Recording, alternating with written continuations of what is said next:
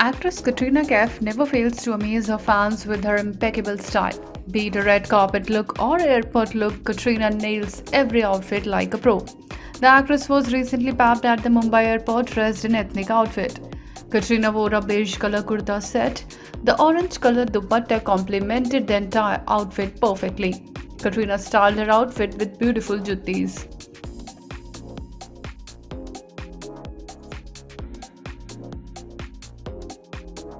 Keeping the accessories minimal, Katrina opted for a pair of cool sunnies. She left her hair open and kept the makeup subtle. Kat's Desi airport look is going viral on social media.